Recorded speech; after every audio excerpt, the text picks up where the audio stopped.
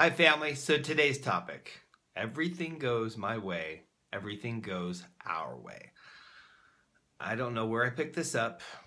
It's a little mantra, a chant that I have been using for years. But when I start to worry about something, or I'm fearful of something, or I'm caught in a negative vibration, or not, when I'm happy and, and, and wanting to be appreciative of everything that is blessing me and the people in my life and everything else. Anyhow, when I think about it, I say, everything goes my way, everything goes our way. So here's the thing if you're worried about something bad happening, you keep thinking about it happening, obviously, you're just attracting that to yourself even faster. Most of us know that. However, most of us many times don't do something about it. We just get caught up in that treadmill of the hamster on the wheel of worrying about stuff. Well, when you catch yourself, just repeat something like that. You can use that if you want, or something you come up with on your own. I'll tell you why I came up with that one though. Everything goes my way, everything goes our way.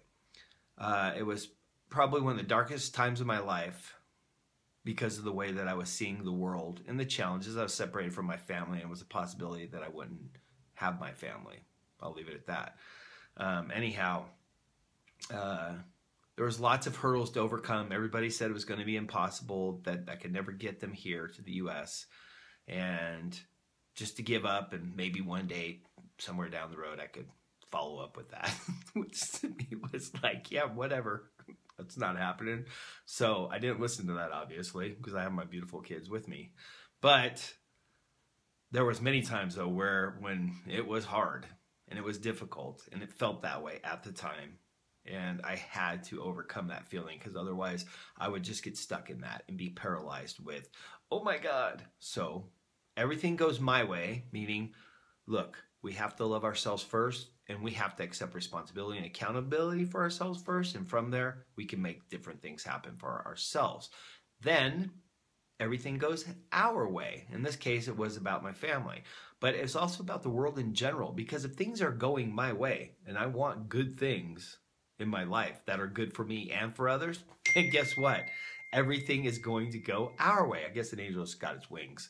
Anyway, so when you catch yourself worried, fearful, scared, or any kind of repetitive thought pattern that's debilitating, or when something cool happens and you want to express gratitude and say thank you to God and His universe, then you can say, everything goes my way, everything goes our way. So, with that, if you haven't done so already, please like my Facebook page. The link is at the bottom of this video. And I don't have, I can't accept any more friends on Facebook because I have 5,000, but on my business page or whatever you call it. I can have as many as I want, and that way you'll get these daily videos if you click get notifications.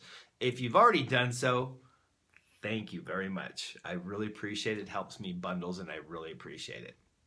Anyhow, um, with that, three things that we all. Oh, by the way, if this resonates with you, then share it because the stuff we pass around makes a difference. So pass around good stuff. With that, three things we close with. One, I love you. That goes our way. Two, I love you. That definitely goes our way. And oh, I skipped the middle one. I love you.